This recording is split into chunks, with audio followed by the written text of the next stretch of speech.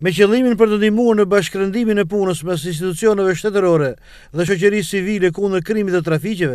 në qytetin e Durrësit Unioni Stop Krimit ka organizuar para pak kohësh një konferencë shkencore me temën Të gjithë së bashku në sfidën e kohës për parandalimin dhe luftën kundër krimit dhe terrorizmit, në të cilën drejtori i përgjithshëm i Unioni Stop Krimit, Maksim Ferro, u ndal në problemet shqetësuese dhe tragjeditë njerëzore që shkakton trafikimi. Gjatë këtyre viteve,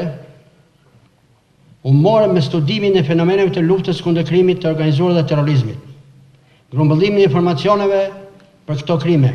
rastet e tyre konkrete, autorët dhe vendet ku vepronin,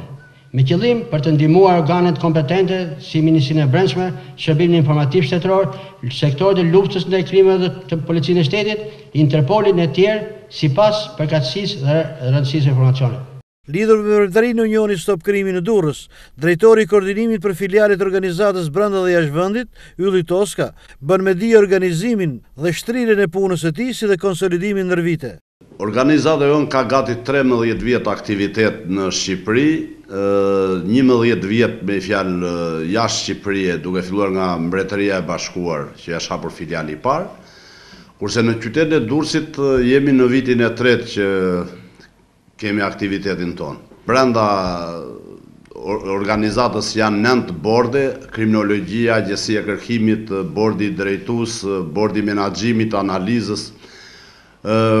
Dega më e rëndësishme ka qenë dega e Agjensisë së Kërkimit që bën kërkimin e personave që kërkon drejtësia shqiptare dhe ajo ndërkombëtare, si dhe të personave të humbur dhe femrave të trafikuar, fëmijëve të humbur e tjerë. Toska thotë se Unioni Stop Krimit ka qenë rezultativ ndër vite, duke sjellë dhe shifra konkrete. Gjatë kësaj periudhe, mund të themi me një fjalë gati trembëdhjetë femra të trafikuar janë gjetur e janë kthyer familjeve. Nuk e kemi bërë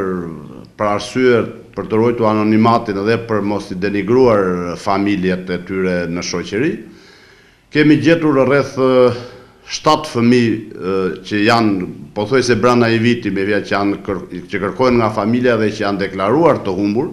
kuptohet këtu në bashkëpunim edhe me policinë e rendit. Tani po kërkojmë gati tridhjetë persona që janë humbur, që janë deklaruar të humbur nga familja.